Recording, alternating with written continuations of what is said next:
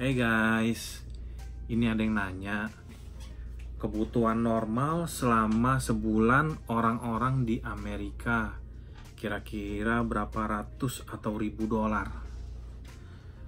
Kebutuhan normal ya, yang nggak normalnya gimana? yang normal oke deh. Uh, ini kebutuhan normal dari keluarga saya ya.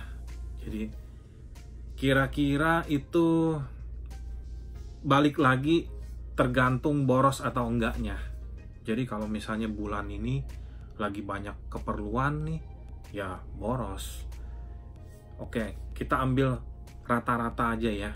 Yang di California, nggak tahu kalau di state lain kayak mungkin di Arizona ya atau di Oregon itu mungkin lebih rendah mungkin dari sini tapi ini gue udah bikin listnya. Jadi yang ya normalnya kira-kira kalau ngontrak apartemen itu sekitar 1500 tergantung lokasi lagi ya kalau lokasinya yang daerah dekat Hollywood atau dekat Beverly Hills gitu itu pasti di atas 2000 kira-kira. Jadi ini kita kita anggap 1500 terus bayar listrik. Listrik nggak nggak nggak gratis. Jadi apartemen itu yang mesti dibayar yang tanggungan kita yang penyewa itu listrik sama gas. Nah kalau listrik itu rata-rata kita pakai sekitar 40 dolar sebulan. Karena kita nyalain AC kan kalau summer kan kita nyalain AC terus kalau winter dingin kita nyalain heater gitu. Jadi lumayan listriknya terus gas tadi saya juga bilang gas. Gas itu kita rata-rata sekitar 10 dolar. Karena kan kita masak di rumah jadi pakai gas kompornya. Terus pulsa. Nah kita pakai T-Mobile. Handphone kita jadi pakai um, pulsanya yang bayar tiap bulan. Kalau di Indo kan enak itu bisa beli pulsa. Apa namanya tuh? Prabayar ya prabayar apa pasca bayar sih? Ya jadi gitu. Di sini juga ada kayak begitu cuman uh, lebih irit pakai uh, bayar yang per, per bulan gitu.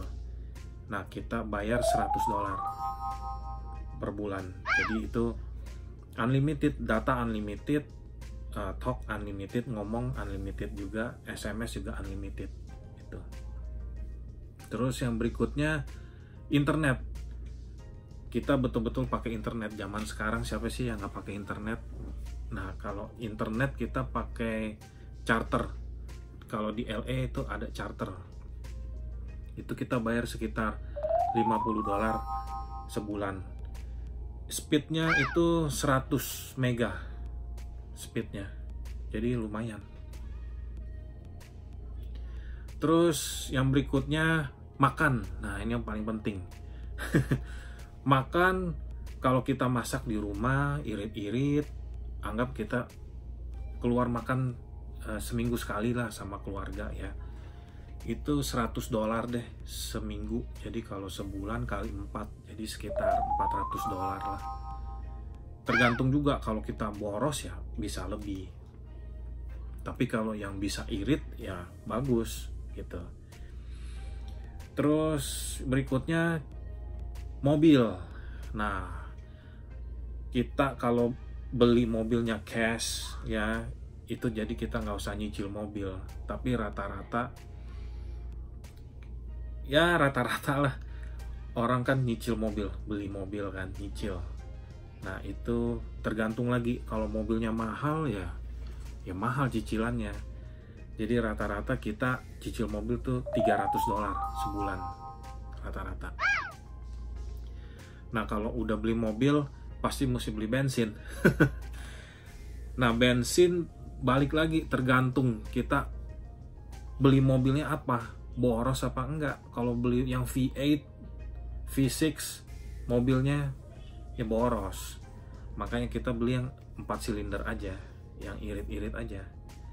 Nah, terus juga tergantung lagi jarak yang kita tempuh kalau kita tempat kerjanya jauh ya udah bensinnya makin gede tapi rata-rata uh, saya sama istri itu paling sekitar 200 dolar sebulan.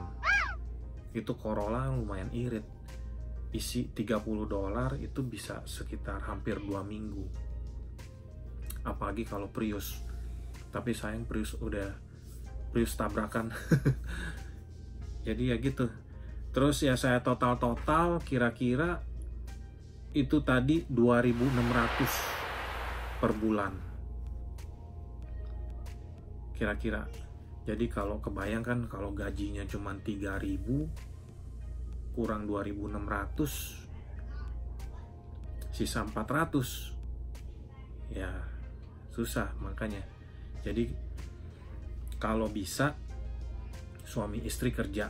Jadi kalau misalnya suami gajinya 3000 misal misal istri gajinya 2000 jadi combine kan digabung jadi 5000 nah pengeluaran sekitar 2500 eh 2600 jadi masih bisa nabung. Masih bisa napas lah gitu loh. Ya kira-kira begitulah normalnya. Yang nggak normal nggak tahu deh. Mudah-mudahan menjawab